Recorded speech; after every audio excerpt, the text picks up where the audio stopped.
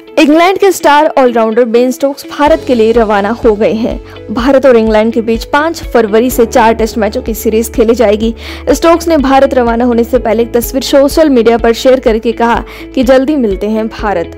इस पर इसके बाद तो स्टोक्स ट्विटर पर टॉप पर ट्रेंड करने लगे। भारतीय फैंस ने उन पर काफ़ी मीम्स बनाए, जो अब सोशल मीडिया पर वायरल हो रहा है। एक फ़ैन ने कोहली की तस्वीर के साथ लिखा कि इंतज़ार कर रहे हैं बेन स्टोक्स।